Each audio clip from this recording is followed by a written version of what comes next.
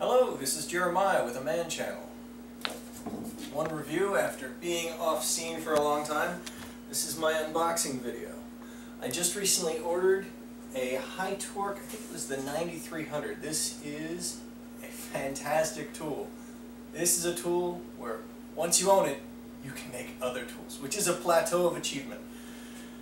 Uh, this is a 500 watt milling machine with a 9 by 4 by I want to say 16 inch working bed.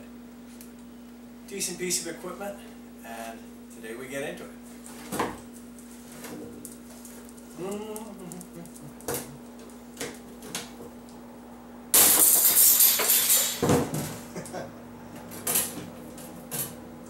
You gotta save this stuff because I've already got a project or two that I needed strapping for. Seeing that on a future video. There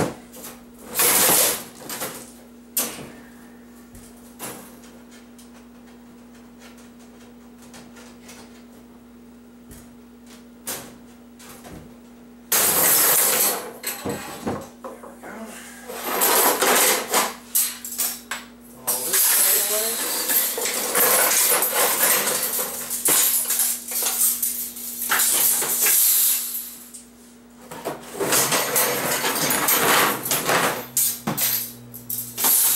There we go. Uh, first off, I bought a couple of accessories that didn't come with this. Bought these on Amazon. Uh, the Little Machine Shop, the place I got this from, they do sell plenty of accessories. In fact, they sell this exact same set of parts, but they sell it with no name brand on it, and they charge you more for it. Uh, it's AccuRemote. You can actually eyeball this versus what's on their website. It's the exact same damn thing, except this is their real brand. Uh, what this is, is set of digital readouts.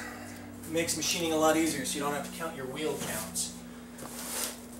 Count your rotations. Boxes of miscellaneous parts.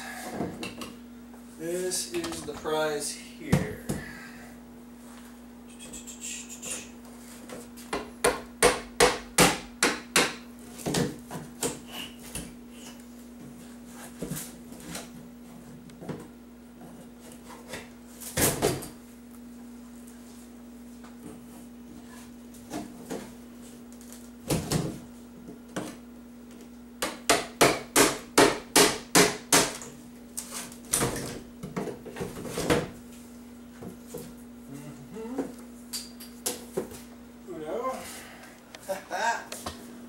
Stuff.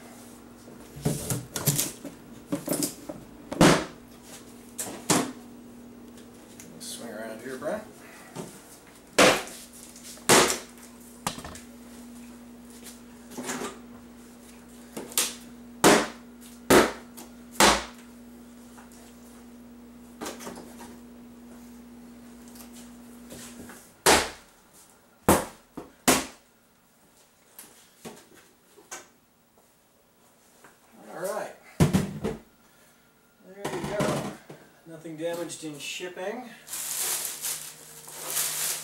All in one piece. One of the things I like about this is the fact that it, unlike some mills, comes with some grease on it with shipping to protect it, but a lot better than some, it's not shipped with the thick, red, coated gunk.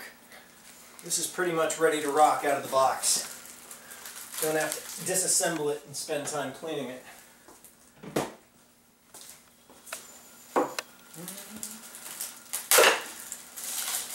This is a 500 horse model, or it's not 500 horse, that'd be a hell of a mill.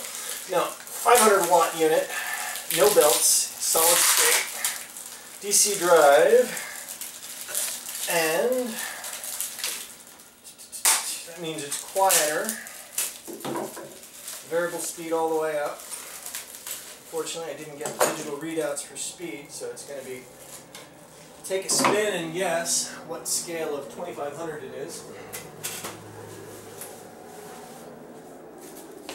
However, since this is such a common style of mill, there are actually some prefab kits you can buy for it. For about another thousand dollars, I can turn this into a CNC mill. Start either mass production or automate tasks such as uh, building 80% AR lowers. Anywho, we'll do another segment in a bit when I've got it out and up on the bench, but ta-da, this is the mill.